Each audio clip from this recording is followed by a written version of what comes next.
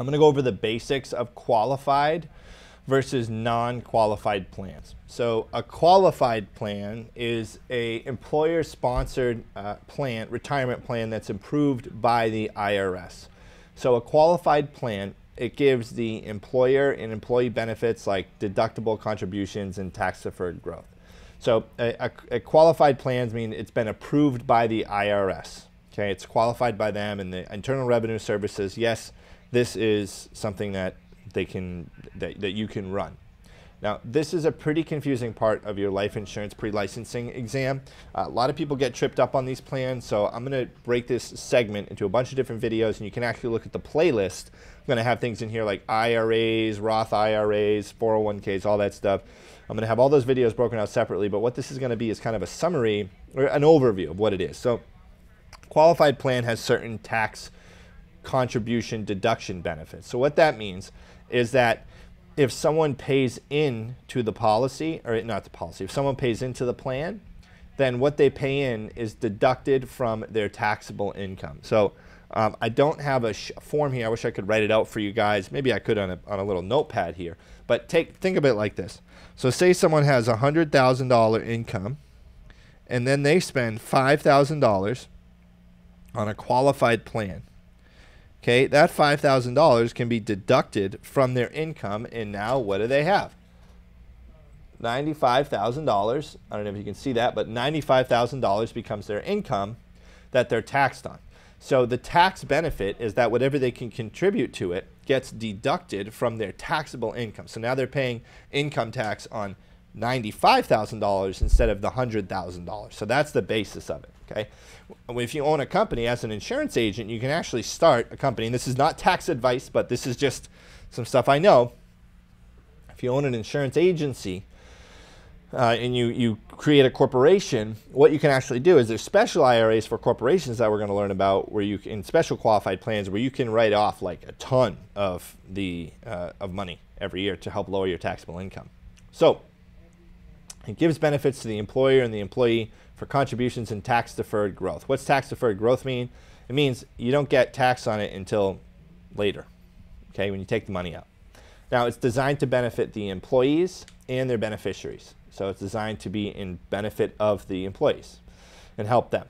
And it's communicated to every employee when they start somewhere, and it has to be formally written down. It has to be like a packet that someone gets and reads and it can't discriminate in favor of uh, like executives or highly paid employees or, or anything like that or stockholders or officers. It has to be in benefit of the employees okay? It's got to be a permanent plan. They can't just get rid of it. It has to be approved by the irs and they have to have certain vesting requirements. So vesting requirement means like you have to be a certain amount of somewhere a certain amount of time before you can take the money out or certain contributions are certain benefits are available. That's a vesting period or where the employer will contribute a certain amount to it. It's a vesting period. Um, and then a non-qualified plan does not need government approval and you actually contribute after tax money. So say they have that same income situation, you make $100,000, you pay tax on that $100,000, so you end up with 70,000. Then you take some of that 70,000 after tax money and you pay then you pay into it with the after tax money. Okay? So it's a little different in that aspect in the pre-tax world of a qualified plan, the money is taken out before. That's why, like, if you've ever contributed to a 401k, or what it would look like on your paycheck, you see the deduction, and then you see your paycheck. You see your gross pay before taxes and then after taxes.